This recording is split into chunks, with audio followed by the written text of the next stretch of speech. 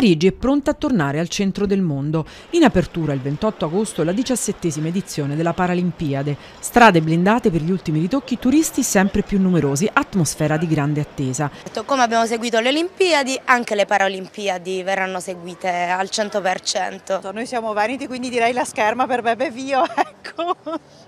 In arrivo nella capitale 4.400 atleti che fino all'8 settembre gareggeranno per la vittoria più importante della vita, su ogni medaglia di Parigi è incastonato un frammento originale della Tour Eiffel ricavato dai numerosi restauri subiti dal celebre monumento, sul retro invece un timbro dei giochi in braille.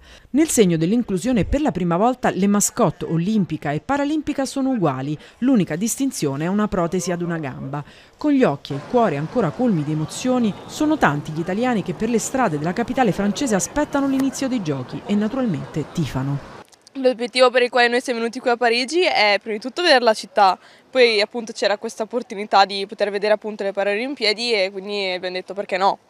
Forza Azzurri!